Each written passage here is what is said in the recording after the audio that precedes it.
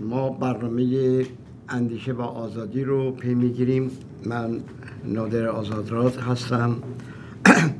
و کوششم آن است که برنامه برای آینده سازان ایران داشته باشیم. برای نسل آینده به و تیپ جوان. حال برای سالخوردگانی مثل بنده و بسیاری از اونهایی که با سنت و فرهنگ قدیم و باورهای به اصطلاح متافیزیک قدیم عجین شدن شاید بخشی از برنامه های من یه مقداری متفاوت و یا کفرامیز باشه. بنابراین از حضورتون خواهش می‌کنم که اگر دوستان دارید برنامه رو دنبال نکنید نبینید. ولی اگر به تماشای برنامه های بنده نشستید باید کمی دارای سعیست و قدرت تالرانس و تحمل داشته باشید. من ممکنه در بعضی از برنامه ها در نقش یک به اصطلاح سکولار فردی که سکولار هست و لزوما به باورهای متافیزیک یا کودان کود به خرافات جامعه خیلی پایبند نباشم و معتقد هستم که باید جامعه رو به طرف تغییر مدرنیته و پیشرفت برد. و بنابراین صمیمانه به این آرمان معتقد هستم که رسانه و تلویزیون رادیو و ابزاری که با شعور مردم سرکار داره احساس مسئولیت کنه و برای تنویر افکار عمومی شجاعانه سخنان و مطالبی رو در حقیقت برنامه ریزی کنی که به درد نسل آینده جامعه بخوره. اینی که احیانا ممکنه بنده این نگاه مضاعف و متفاوت و دوگانه در برنامه دیدی بشه. فکر نکنید بنده آدم هیپوکریت یا منافقی هستم نه. اگر یه مهمانی رو دعوت کردم که ایشون خدای باور هست یا اعتقاد خاصی به دین خاصی داره سوالاتی که اگر مطرح میشه دوستان توجه کنن که قرض از بیان اون سوالات و پاسخها اینکه موجبات تعادی افکار به وجود بیاد مردم به اندیشیدن بپردازند و قدرت اندیشیدن و آزاد بودن در اندیشه حتی اندیشه دینی اندیشه خدای باوری یا خدای ناباوری یا اندیشه در هر زمین در زمین مسائل هنری مسائل علمی میبایستی فضا رو برای اندیشیدن آماده کرد. بنابراین ما میبایستی حد اکثر من معتقد هستم حد اکثر استفاده رو از آزادی بیان در جامعه کودان کود آمریکا دموکراسی که پژوهشگر آزاد در پژوهش های خودش و گوینده آزاد در بیان عقاید خودش. ما با استفاده از آزادی بیان ناگفته هایی که احیانا در گذشته و یا امروز در سرزمینمون جرأت گفتنش نداریم یا بابت گفتنش باید جریمه سنگینی بدیم بدیم شجاعانه میبایستی در بیان گذاشت و مردم رو به اندیشتن دعوت کرد. این نکته بود که لازم بود تذکر بدم. و من کوشش می‌کنم در خلال برنامه ها از اساتید جوان حتی اساتید مجرب در زمین های مختلف آنتروپولوژی، روانشناسی، جامعه شناسی، تاریخ ادیان، باستان شناسی و رشته های مختلف علوم دعوت کنم و به مناظره و سوال و جواب بپردازیم و در ضمن این سوال و جواب ها در حقیقت به بیننده فرصتی مناسب داده بشه تا برای فکر کردن و اندیشیدن فضای مناسب پیدا کنن که در برنامه امروز ما آقای احسان اساتیری تشریف دارن ایشون و همسرشون دانشجوی دوره دکترای مردم شناسی هستند و رساله و تحقیقاتشون رو در بخش قوم شناسی و مردم شناسی دینی گرفتن و نقش دین باورهای دینی جامعه در به اصطلاح جامعه. نگاه ایشون نگاه انتروپولوژیستی و مردم شناسی و قوم شناسی است. شاید ایشون خیلی کوشش کنن که به مسائل سیاسی خیلی وارد نشن یا دخالتی نداشته باشن. ولی ما از دیدگاه و تجربیات ایشون استفاده می‌کنیم برای بحث و گفتگوهایی که با هم خواهیم داشت. در جلسه اول امروز دومین جلسه است که به اتفاق آقای احسان خان داریم داریم که فرصتی فراهم میشه که در کنار همسر خوب ایشون که ایشون با ایشون همکار و همرشته هستن بتونیم باز هم در زمینه مسائل مردم شناسی بحث و گفتگو داشته باشیم. من مهمان عزیز رو معرفی می‌کنم و ازشون خواهش می‌کنم که مروری بکنیم بر قسمت اول برنامه که با اتفاق هم داشتیم و بعد از اون بحث پیرامون مسائل مربوط به فرهنگ تمدن آداب و سنن و استوره و میتالوژی جامعه بحث و گفتگو رو با هم آغاز خواهیم کرد. خب جناب آقای احسان خان خواهش می‌کنم بفرمایید. در برنامه اولین برنامه که با هم داشتیم شما حافظتون بهتر از من کار می‌کنه بروری کنین بر تیتر مطالبی که در گذشته مطرح کردیم و ببینیم امروز چه موضوعی رو مورد بحث قرار میدیم. خیلی ممنون آقای دکتر آزادات که من دعوت کردین. توی برنامه و بله اجازه بدین که همطور که فرمودین یه مرور کوچیکی داشته باشیم از اون در واقع صحبت هایی که هفته پیش شد یا جلسه پیش صحبت شد. ما در جلسه قبل راجع به در واقع انسانشناسی و به ویژه انسانشناسی مذهب صحبت کردیم و من عرض کردم که کاری که انسانشناسی مذهب می‌کنه بیش از هر چیز مطالعه نهادهای مذهب و عقاید و در واقع افکار و بلیف هستش که در واقع پیروان یک مذهب دارن. ما مطالعه می‌کنیم که در واقع چه نهادهایی تو هر مذهبی وجود داره و این نهادها چه کار کردی دارن. مثلا مسجد کلیسا معبد اینا هر کدوم در واقع مطالعه می‌کنیم که خب چه در واقع کارکردی دارن. همینطور رفتارها practice ها مثلا میشه گفت نماز خوندن یا کلیسا رفتن یا مسجد رفتن همه این رفتارها رو بررسی می‌کنیم و همینطور آیین هایی که هستش. مثلا فرض کنین آیین درست کردن حلیم برای عاشورا. همه این چیزها چیزهایی هستش که بررسی میشه و همینطور ما این چیزها رو با هم دیگه مقایسه می‌کنیم به طور در واقع کلاسیکی که از بیشترین مهمترین کارهایی که در واقع انسان شناسا انجام میدن مقایسه عرض شود خدمت شما رفتارها و عقاید مذهبی در جامعه متفاوت و در خود یک جامعه هستش. ما راجع به این صحبت کردیم و در واقع بحث رو تا اونجایی پیش بردیم که من گفتم که ما در واقع ارزش گذاری خاصی نمی کنیم در مورد رفتارهای مذهبی و عقاید مذهبی که افراد متفاوتی دارن و من در واقع نمونه ای به شما نشون دادم از مراسمی که در حول و حوش در واقع عزاداری امام حسین هست چیزی که من نشون دادم مراسم نخگردانی بود و نشون دادم که در واقع خیلی مشابه اون مراسم تو همین آمریکا و تو بروکلین انجام میشه.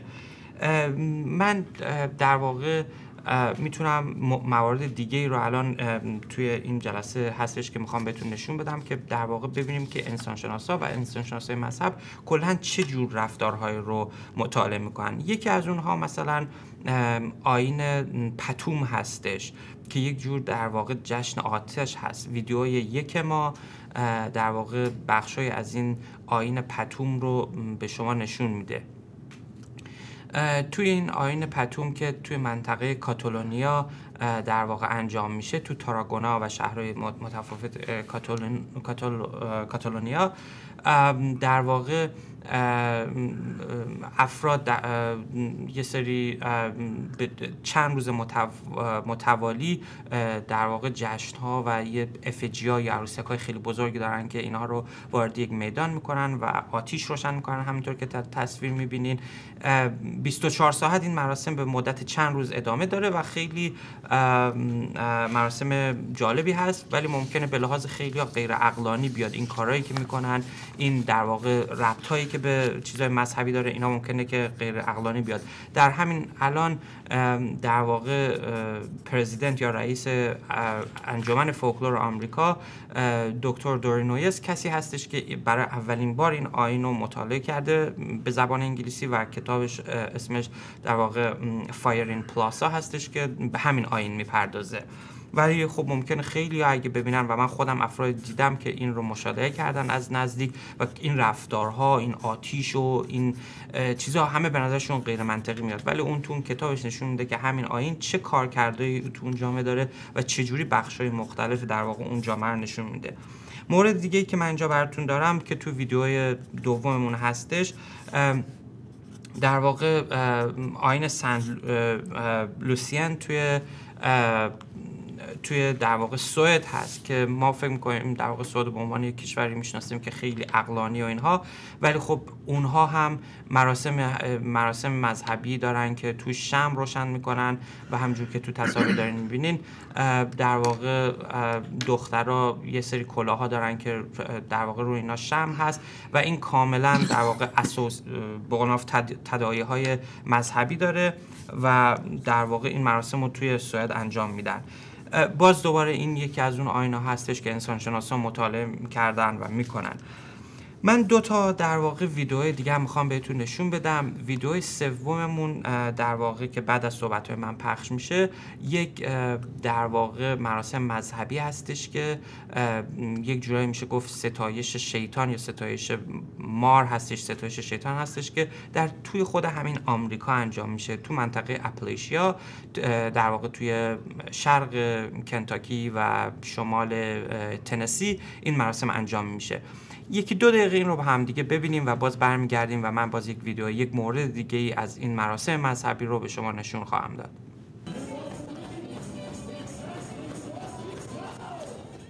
This is Pastor Andrew Hamblin. He's a 21 year old serpent handling pastor at the Tabernacle Church of God in La Follette, Tennessee.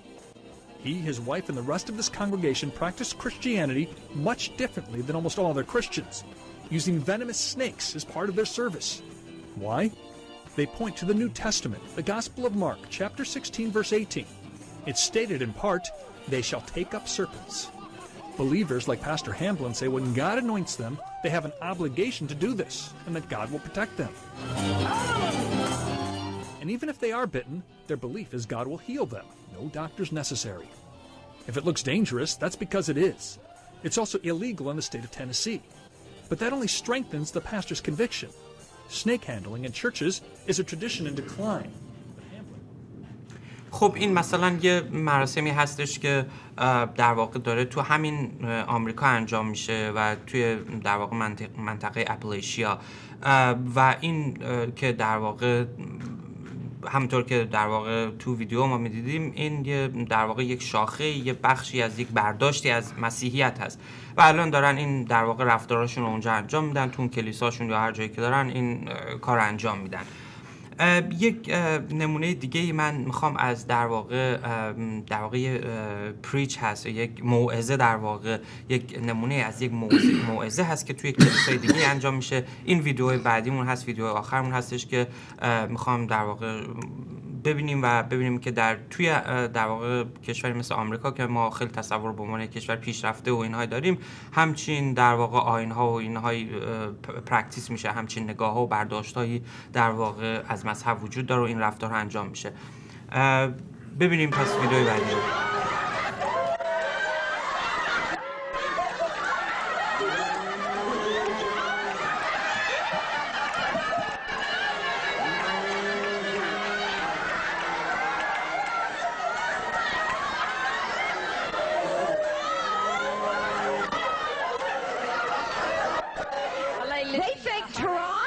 something. Wait till they come to Boston.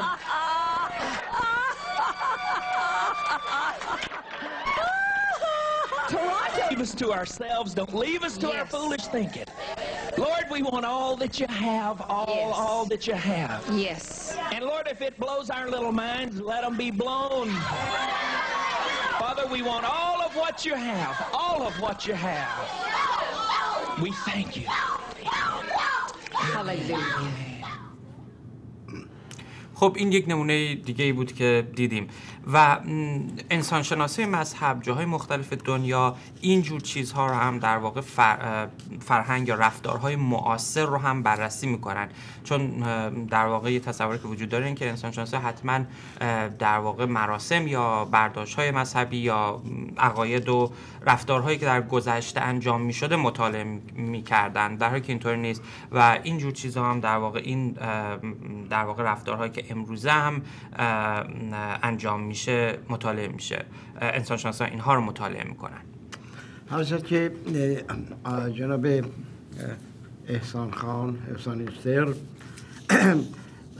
من واقعا لذت بردم از همین شما و همسر یارمیتون که با هوشیاری به عنوان یک دانشجو بدونی که ارزشیابی کنید یا بگید کدام مراسم اساسا خرافی هست یا نیست بدون جاجمنت سنت های جوامع مختلف رو بررسی می‌کنید و پشت این هر سنتی هر مراسمی در هر فرهنگی یک اصطلاح آرمانی نهفته است.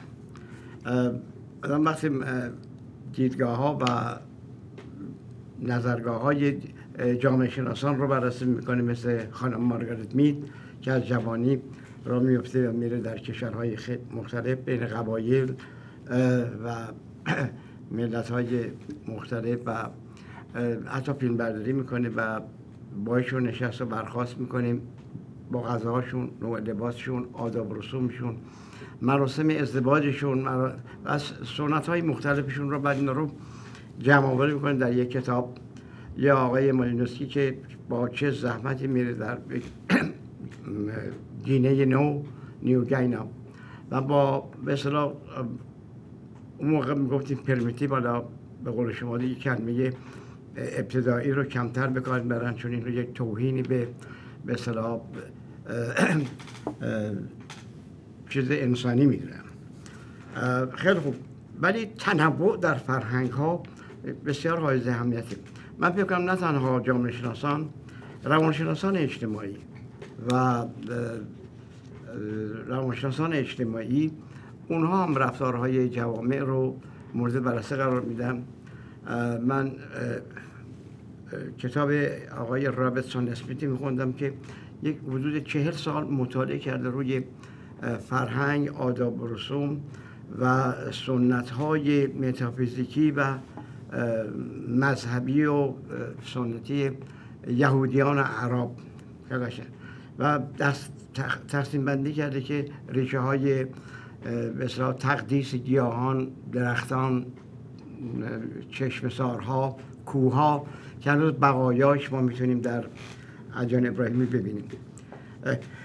بنابراین یک دانشجوی مردم شناس بدونی که بخواد به داکیومنت رو تهیه کنه که تحقیر کنه بلکه بررسی می‌کنه که هر جامعه چگونه آداب رسومی داره و با اجرای چنین آداب رسوم چی رو می‌خوان روشن کنن.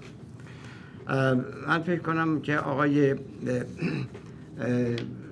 چیز روانشناس سوئدی کار یوستاف در اثر بسیار زیبایش به نام انسان بر سیمبولهایش به تمام مراسم اشاره کرده. حتی در مورد اسلام مراسمی که پیغمبر اسلام مشارکت میده اونهایی که می‌خواستن سنگ رو از جایی بلند کنن برای که همه اعضای قبیله یا نماینده های قبایل بتونن شرکت در این مراسم داشته باشن که سنگ رو می‌خواستن جا کنن.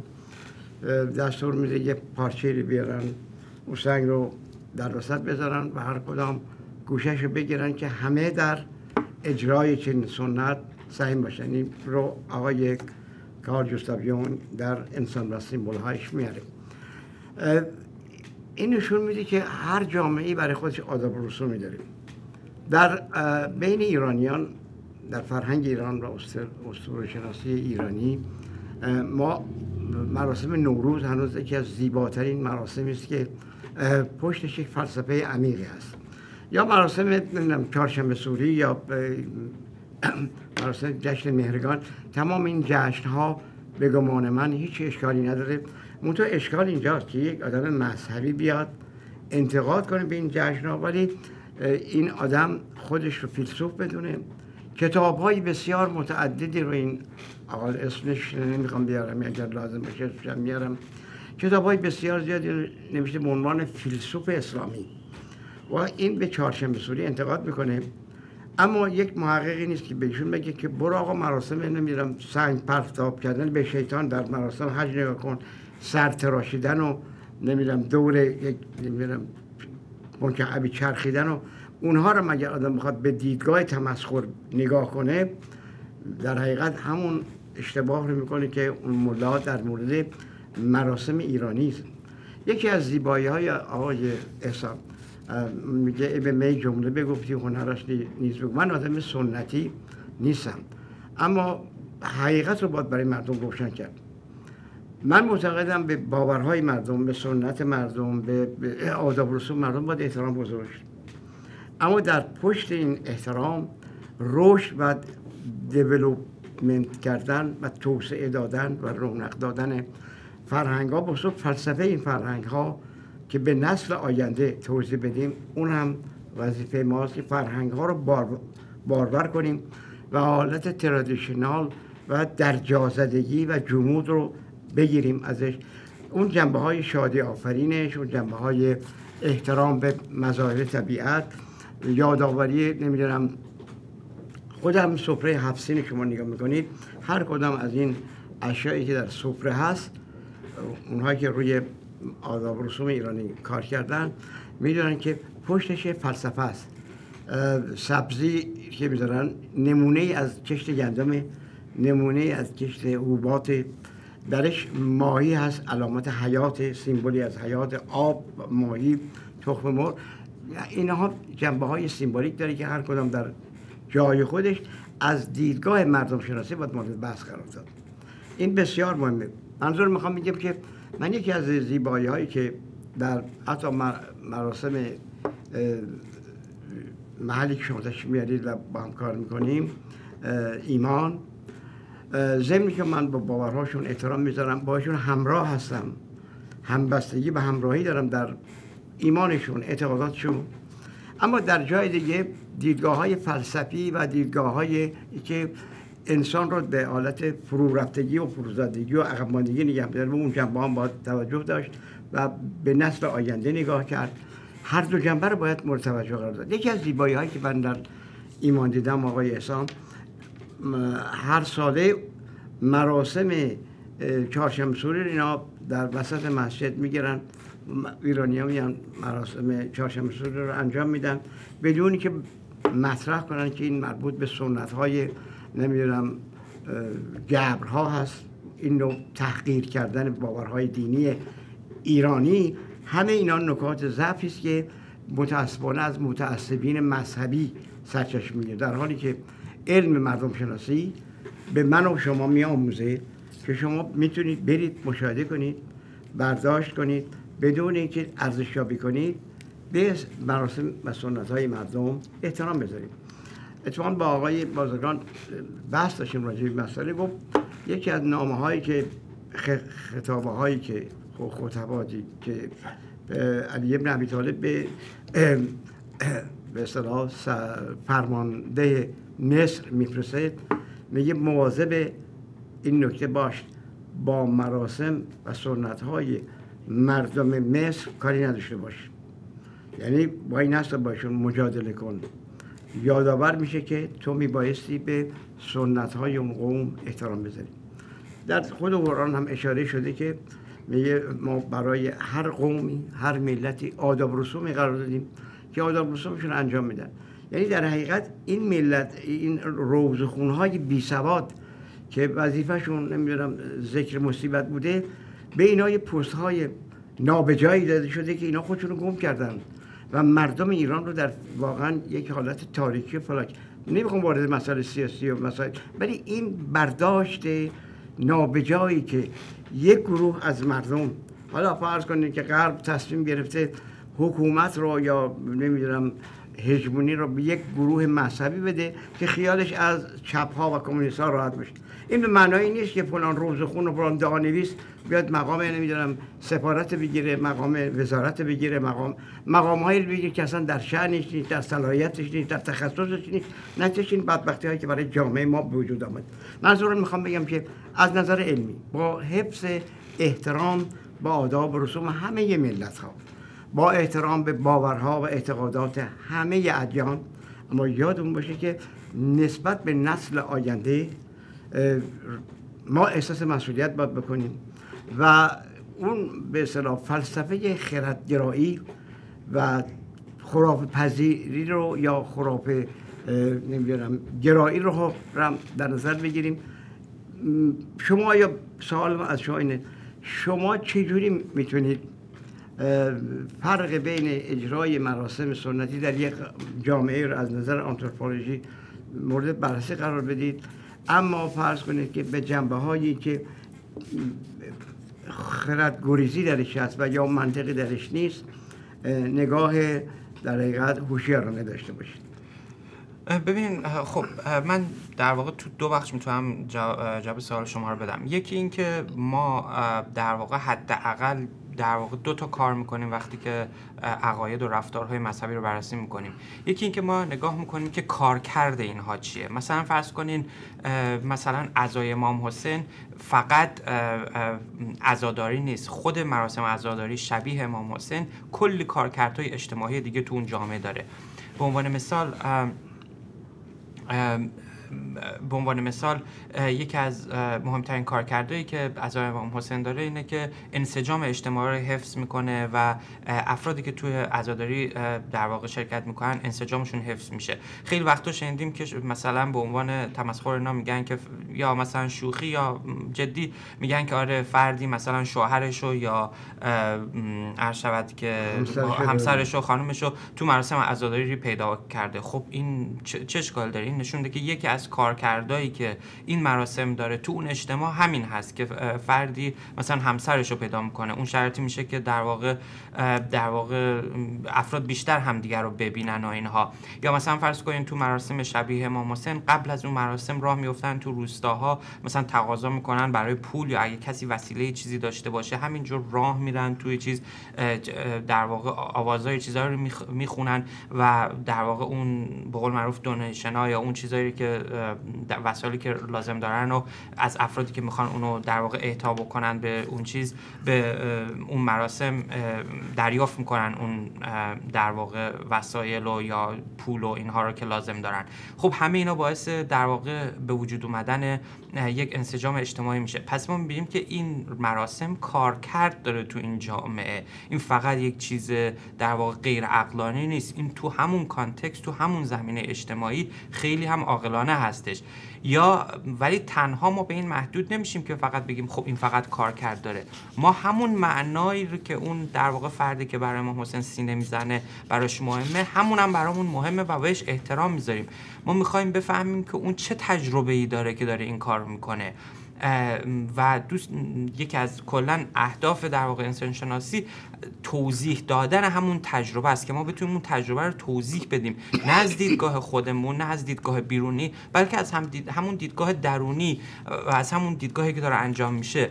من بیشتر که این در واقع ویدیوها اینها رو برای شما نشون دادم و این مراسم رو می‌خواستم بگم که چون ما یک در واقع جریانی رو داریم که حالا خیلی هم محترم هستن من هم باشون هیچ مشکل ندارم. ولی یک جریان در واقع روشنفکری هم دینی هم غیر دینی هستش که در واقع خیلی از مراسم های ایرانی رو به دیده تحقیق بهش نگاه می‌کنه. یک بخش از این مراسم نوروز چهارشنبه سوری اینا هستش که به دیده تحقیق بهش نگاه میشه یا سعی میشه در واقع تحقیر بشه. یک بخش دیگه هم در واقع این تحقیق؟ تحقیر. به, به دیده تحقیر نگاه میشه. یک بخش دیگه از این مراسم مثلا مراسم مذهبی هستش که باز به دیده تحقیر بهش نگاه میشه و در واقع در واقع بد تلقی میشه و غیر اقلانی تلقی میشه. من این ویدیو رو به شما نشون دادم که بگم که مثلا توی یک جامعه مثل آمریکا که شما ببینید که این افراد دارن این کارا رو انجام میدن که ممکن از لحاظ مثلا خردگرایی مدرن غیر اقلانی تلقی بشه شما هیچ وقت کسی رو مثل نوام چامسکی در واقع نمی‌بینید که این فرد مثلا را بیفته توی جامعه بخواد مثلا راجع به این صحبت بکنه که فلانجا تو اپلایچیا دارن مردم این کار می‌کنن یا فلان موعظه‌گر داره این کار می‌کنه. این فرد چی کار می‌کنه؟ به عنوان جامعه به عنوان یه به قول معروف public intellectual یا به عنوان روشنفکر چی کار می‌کنه؟ این کتاب Manufacturing Consent رو می‌نویسه که اتفاقا من خودم منم از این کتاب سر کلاسم استفاده می‌کنم. و اینجا نشون میده که در واقع چجوری مردم آمریکا و کلا کسایی که تحت تاثیر نظام کاپیتالیستی هستن چجوری توی این در واقع روابط قدرت و روابط سرمایه داری سرشون کلاه گذاشته میشه؟ چجوری در واقع سرمایه داری نظام در واقع سرمایهداری دموکرات به یک سیستم پروپاگاندا احتیاج داره و این سیستم پروپاگاندا چجوری رضایت رو می‌سازه. رضایت رو منیفکچر می‌کنه رضایت رو می‌سازه که مثلا یک فردی حمله بکنه به عراق حمله بکنه به جاهای دیگه و این مسائل رو درست بکنه. این رسالتیه که یک روشنفکر آمریکایی برای خودش تو این کشور می‌بینه. نه اینکه مثلا بره بگه که چرا افراد توی مثلا توی کلیسا دارن این کار می‌کنن یا اینکه چرا مثلا تو فلان کلیسا دارن این کار می‌کنن. و هیچ کس نمیره دم اون کلیسا واسطه و که شما احمقین شما ببخشید شما احمقین شما در واقع خرد گریزین اونها کار خودشونو می‌کنن. من این از این نظر می‌خواستم در واقع انتقاد بکنم. نمیگم که در واقع این فرد کاری که دارن این افراد می‌کنن درسته یا غلطه. ممکنه کسی که داره که تو اپلیشیا تو تعلق داره به یک در واقع جریان مذهبی و اون کار می‌کنه ممکنه اصلا غیر عقلانی باشه اشتباه باشه.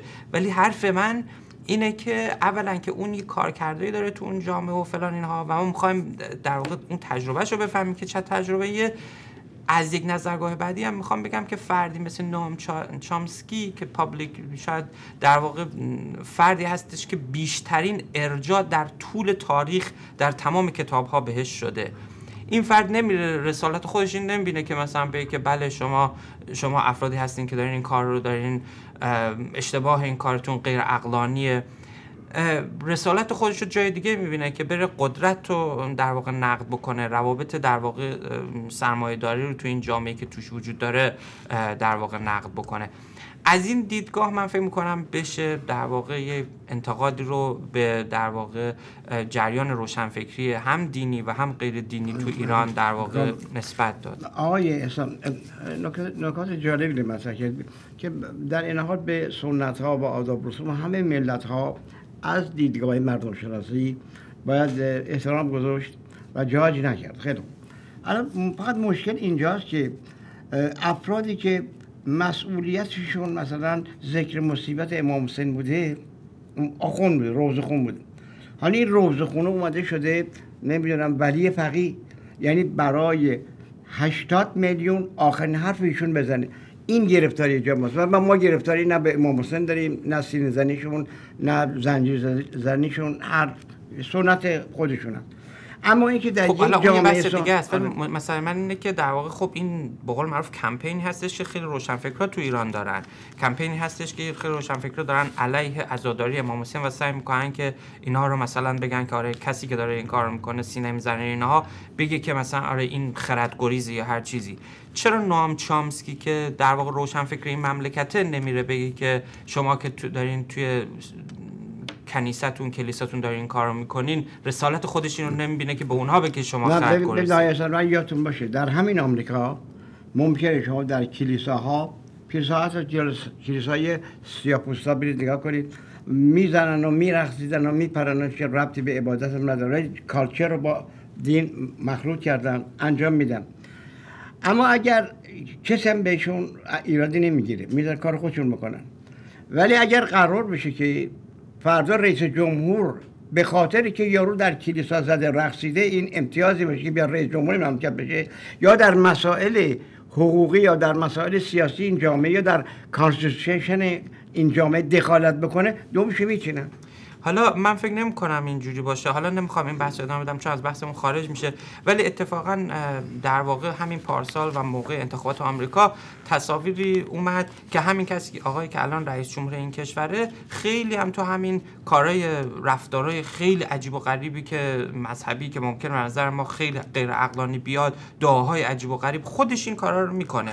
دور دور آقای کارتر آقای جیمی کارتر خب پس چرا میگین نه حالا اجازه بده افتضاحی بعد بار میاد آقای جیمی کارتر در کلیسایی در نمی‌دونم ایالتی که بادم میکاره اونجا بایبل استادی درس میده بنابراین یه آدمی کانسپت مذهبی داره تئوری آقای به اصطلاح برخورد تمدن ها رو خیلی سریع می‌گیره و نتیجهش این بدبختی هایی که در خاورمیانه هست یعنی یه آدمی که به اصطلاح دیدگاه مذهبی داره اب نداره. اگر دیدگاه مذهبی برای خودش داشته باشه مهم نیست.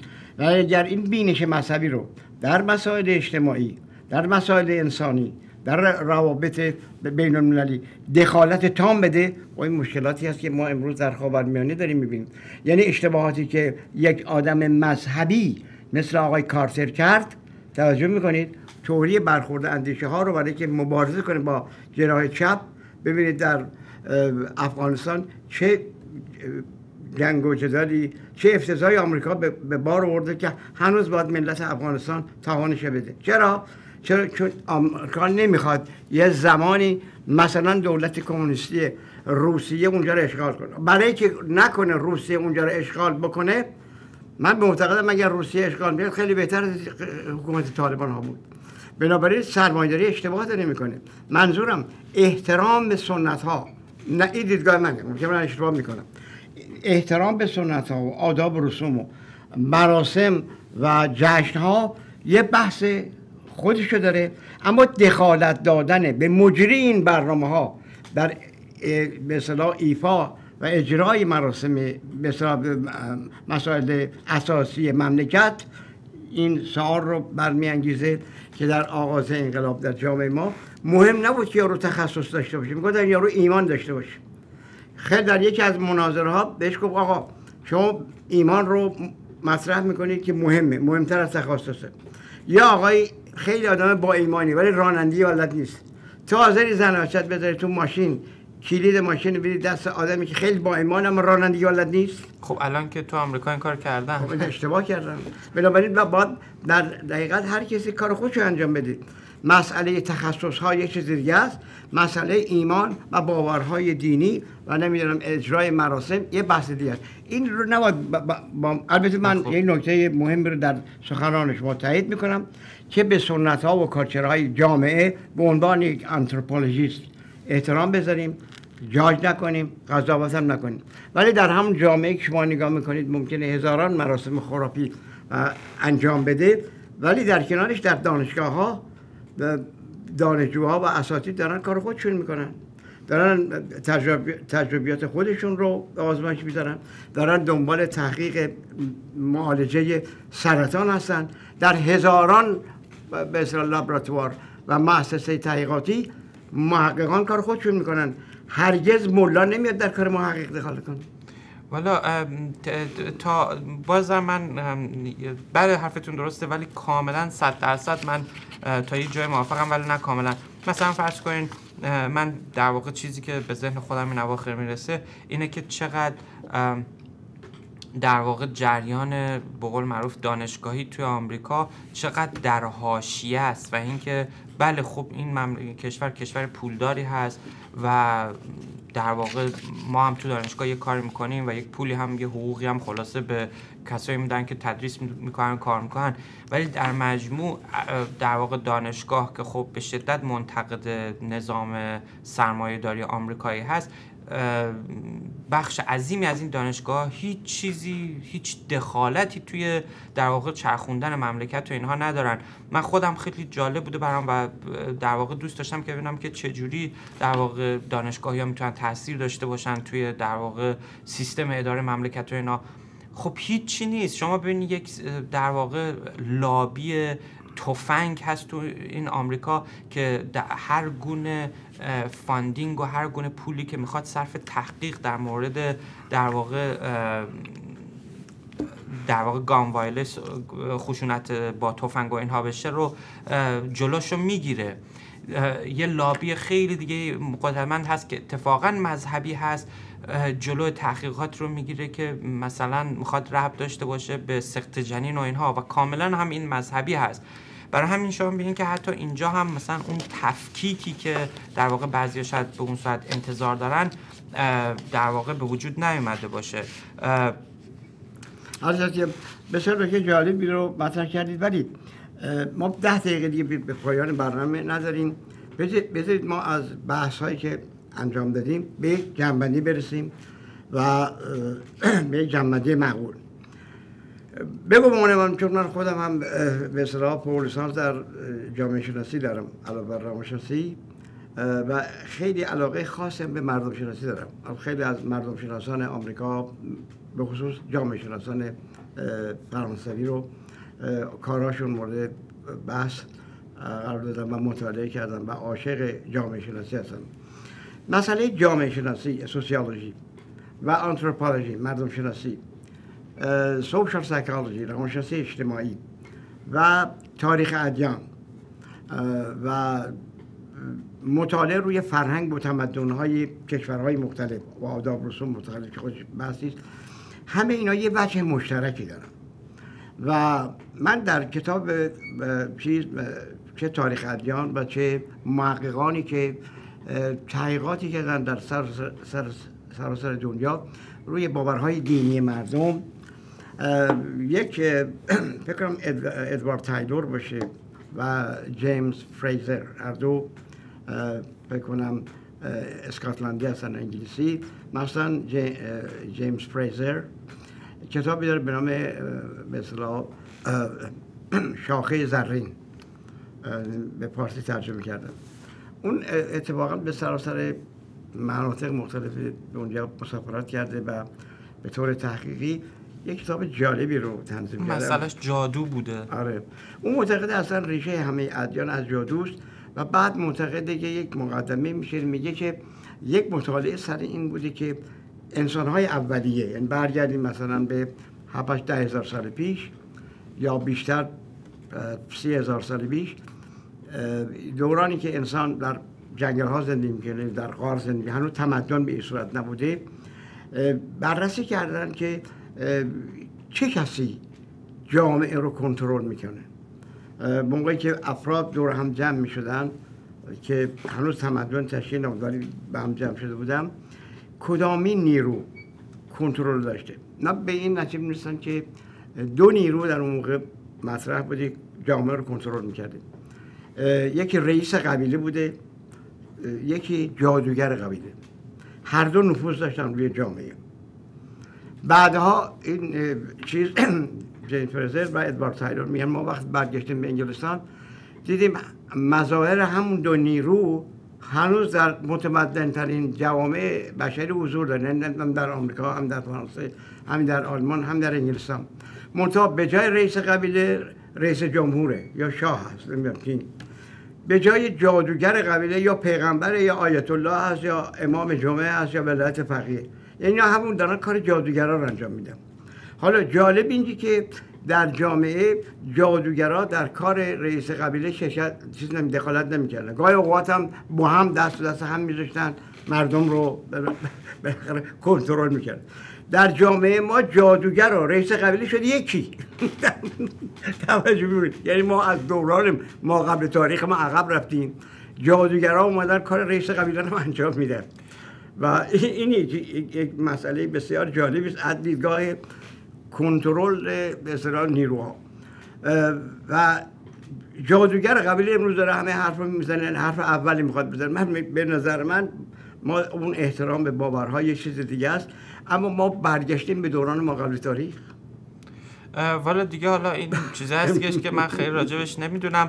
ولی در واقع مثلا یکی از بحثایی که هستش یکی از در واقع تصورات این هستش که خب تو جامعه سکولار به قول معروف اون تعرفه های محدود کننده جوامع ما قبل سکولار وجود نداره که خب الان ما می‌دونیم که همه اینها نقد شده. انسان هستن انسان شناسای اسلام و انسان شناسای خاورمیانه مثل تلال اسد یا در واقع انسان شناسای دیگه که در مورد سکولاریزم خیلی مطلب نوشتن و اینها خب مثلا یکی از در واقع انتقاداتشون همینه که این ماجرای محدودیت ها و خیلی تعرفه هایی که ما فکر می‌کنیم تو جامعه قبلی در گذشته وجود داشته اینها تو جامعه سکولار و اینها هم وجود داره. شاید در واقع جامعه سکولار فقط به متدهایی رسیده باشن که در واقع دعوا یا دعوی در هر جامعه راحت تر ختم بشه. وگرنه به این معنی نیستش که تمام در واقع خواسته ها و اینهایی که افراد جامعه دارن راحت می‌تونن بهش برسن و در واقع محدودیت و اینها وجود نداره. من یک نکته دیگه هم که در واقع اینو فقط به عنوان پایان خدمتتون عرض بکنم. این در واقع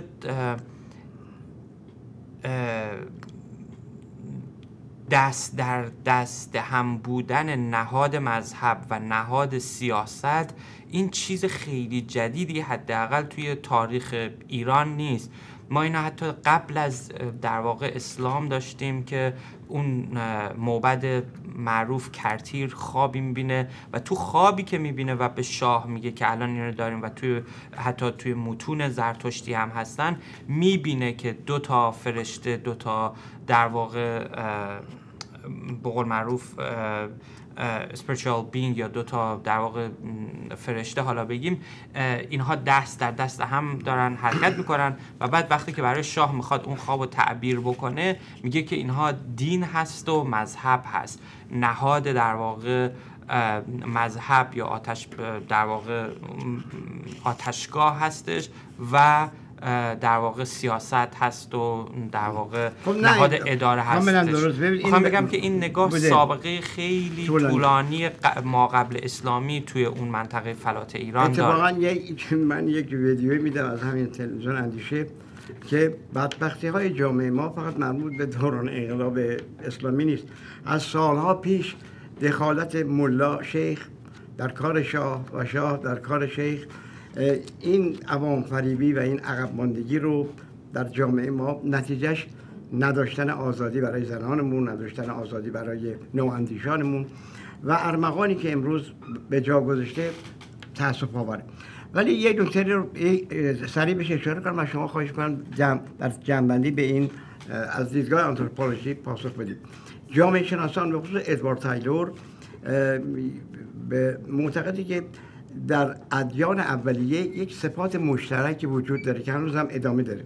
مثلا یکی اشیاء مقدس فتیشیزم یا اعتقاد به مانا که یه معتقدن اعتقاد به خدا دنباله هم اعتقاد به ماناست.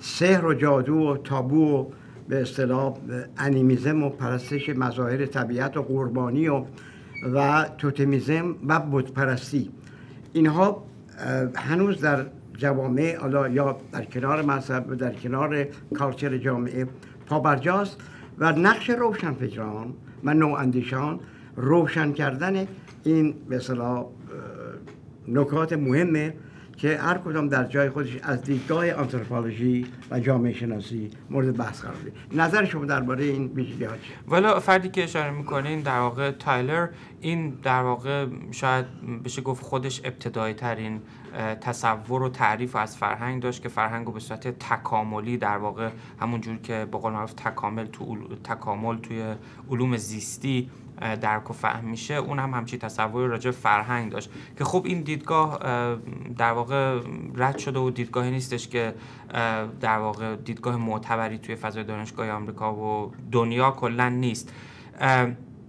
و همونطور که خودتون هم اشاره کردین اگه قرار باشه که اون فتشیزم یا نمی‌دونم اون مسائلی که توی در واقع چیز گذشته بوده تو جامعه اولیه بوده الان باشه خب پس ایده تکامل اون یک ایده در واقع درستی نیست دیگه. ایده هستش که در واقع قابل خب پرستی هنوز هست.